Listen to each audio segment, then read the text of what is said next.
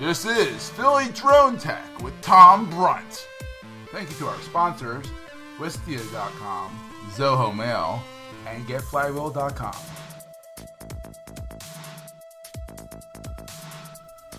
Hello there, and welcome back to uh, Philly Drone Tech here on the PhillyTech.org Netcast Network. I'm Tom Brunt. Well, it's uh, believe it or not, it's February already, and of course, if you live in the Northeast, uh, Philly Drone Tech. Um, well, you know, we just had a uh, our first major snowstorm, uh, 24 inches plus in the Philadelphia region, so that caused uh, quite a bit of a mess. Um, uh, later on in the show, toward the end, I'm going to uh, I'll, I'll highlight a couple of uh, drone-inspired videos of the aftermath of the storm, which are very cool and cool to see. So uh, this show, I'm going to be uh, talking a lot about uh, an event I went to back in December called the Government Video Expo and Drone Show. Here's my well-worn uh, program guide from that. Um, this is a government video expo is something that they've had for a long time there in the DC area for um, uh, for video producers uh, in the private sector as well as the as, as well the, the government sector. Uh, this is the first time they've included uh, drones, which I'd say took up about a quarter of the conference. Um, but it was very cool, and I learned a lot. So uh, we'll uh, look at that kind of in the middle of the show there. But as I always uh, start off doing, uh, we'll talk about the FAA. Um, the big news with the FAA is that uh, we're now um, just over a month in of the new registration. Uh, there's been a lot of rumblings about uh, its legalities and, and all that, but uh, it, it seems like it's, it's here to stay. Um, it was successful at getting people to sign up. Um, for the first month they were um, refunding you. It was it's five dollars but uh, the, for the first month they were refunding you that five dollars. Um, during that time uh, upwards of uh, 300000 people have registered their uh, their drones with the faa so uh, that's a mission accomplished there. Uh, um, now that the drones are registered, now we see what the next step is as far as uh, enforcement uh, or, say, using those registration numbers to be able to fly at places if you give them your registration number. But that kind of remains to be un- unseen um, right now. So we'll see what happens there. Uh, the AMA, the uh, Academy of Model uh, Aeronautics, uh, has, has been working with the FAA and it first put out a press release urging its members not to sign and not to sign up because they were working with the FAA to uh, hopefully uh, have them adapt the already AMA numbers that they give out to all their members. I'm a member and I have that number too. Um, I I kind of saw what was going to happen with this, and uh, we'll fast forward a little bit to about two days before the end of the free trial when they send an email out to all their members saying, okay, register with the FAA. So um, I, I'll admit I kind of saw that coming. Um, anybody that works in IT, I probably mentioned this last show, but uh, anybody that works in uh, IT would tell you uh, maintaining one database is better than two. So to have like drones that some are registered under the FAA, some are registered under another uh, database, that's that's adding a lot more needless work than necessary. We, we just need one database. So now they've said, okay, register. We're still going to try to fight so that they can use the AMA number, but uh, until then, register. So uh, hopefully everybody got in uh, before paying the five dollars, and um, well, like I said, we'll we'll see what happens with that. Um, so um, my next thing that I, I want to talk about is is actually in the Philly area. There's been a lot happening uh, lately in, the, in, Philly. This is kind of new. I just found this out the uh, other day. The uh, the city controller's office uh, did an experiment using a drone uh, to inspect uh, dilapidated building structures in the city, and it went very very well for them. So they hope to um, they they hope to get the approval to continue doing it this way. it saves them a lot of money. They can cover a, a huge area all at once. And uh, here's uh, some video here I'm showing you of uh, what they uh, uncovered. I mean, you can see a lot of the state of the, the buildings from uh, overhead. That is a lot harder to do on the ground. It take a lot longer time, and uh, you can get plenty of plenty of um, work all at once in the air uh, via a drone. So, uh, it, like I said, it went very well, and they're hoping to do this uh, in, in, the, uh, in, the, in the future. Uh, so there we go. There's uh, there's one good local drone use that we'll probably see down the pike, and I have a couple more toward the end of the podcast that also happened in the Philly area that you'll want to see. But meanwhile, let's talk about the Government Video Expo. This was held at the Walter E. Uh, Washington Convention Center in uh, uh, Washington, D.C., uh, back in uh, early December.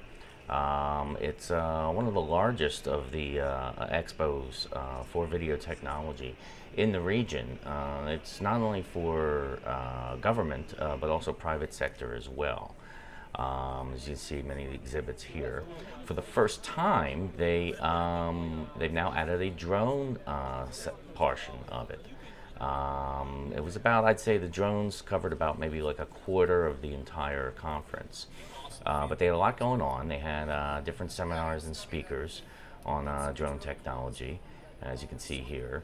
Um, and also, oh, this is a good one here. This is a surveillance, uh, basically a surveillance uh, vehicle uh, that that can basically can collaborate footage from various drones around a particular area and uh, monitor them all at once. Uh, think of that for surveillance or for disaster relief. Um, and no uh, drone show would be complete without having a fly cage. And they had a uh, little fly cage here. And here we go. Here you can see that right now they're demoing a uh, DJI Inspire 1.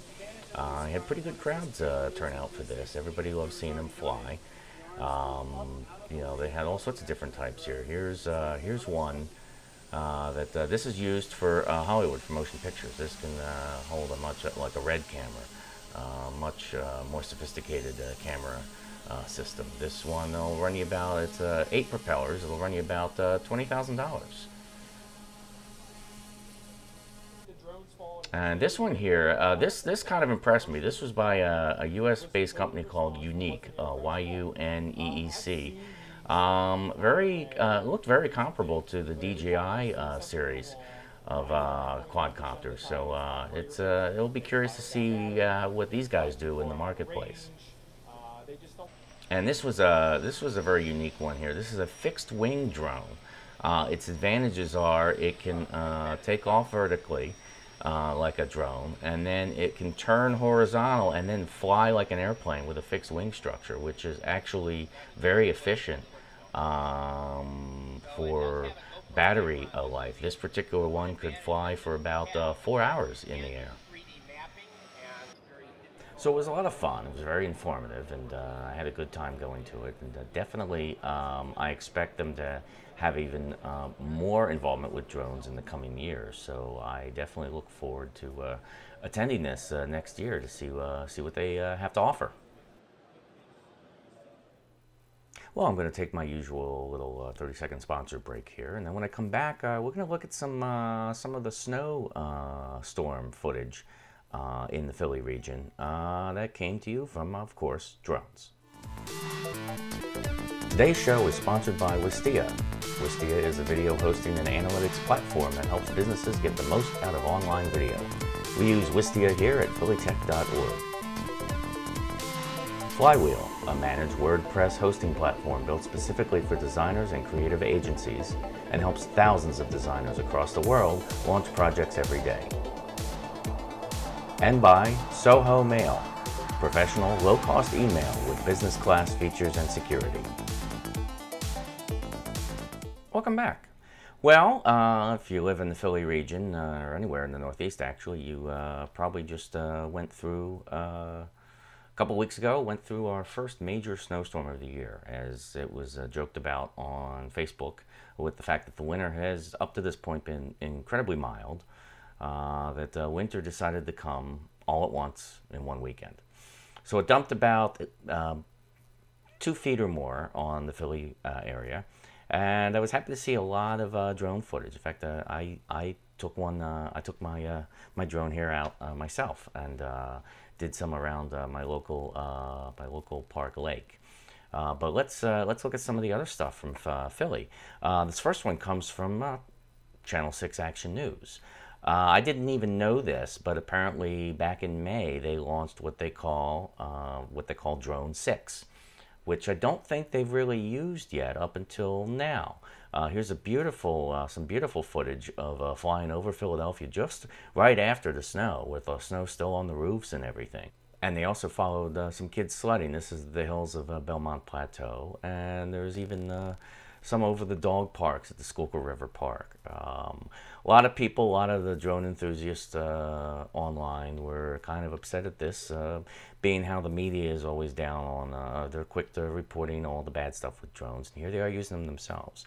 Well, folks, that's the way it is, and um, I see it as a good thing because it means that the FAA is now loosening uh, their their grip a little bit and letting uh, people use these things. So the fact that uh, they obviously flew over people and you know in in close proximity to an airport and they still allowed it.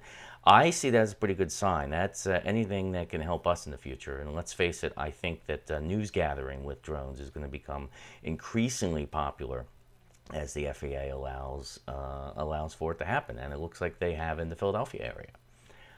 Speaking of the Philadelphia area, here, here's another one. I've, I've reported on these guys before Philly by Air, uh, that also had, did a, uh, a beautiful flyover around uh, some of the uh, uh, sites of Philadelphia, including the Art Museum and, and, uh, and, and, Ben Franklin Parkway and all that. it's a very, very well done, very beautiful, beautiful video. And um, on the flip side of that, uh, that shows some of the devastation that happened. At least in the, in the shore communities, uh, there was a lot of flooding. And here's a uh, here's a video of Avalon, uh, New Jersey, um, with a drone, and you can see uh, the the extent of the flooding. Again, this is where drones will be not only just for news gathering, but for um, for for evaluating uh, disaster relief, and you can get a lot of shots pretty quickly and pretty pretty low to get a lot of detail on uh, on some of the damage. And here's one. Here's a perfect example here of uh, of Avalon, New Jersey, uh, having the uh, the storm damage from the uh, latest blizzard. Okay, I have one more for you, and and it's uh, it's one that I did. Um, I did this. Uh, it ended up being a quick video that I did Monday after the storm. I went to my local uh, park with the lake. I did. Uh, I did uh, in the fall. I I did uh, a fly around of the lake as the as the colors were changing on the leaves, and I actually went out not with the idea of even capturing some video. I just wanted to get some. Uh, I was going to do some stills. I just wanted to get some footage of as close to after the storm as possible.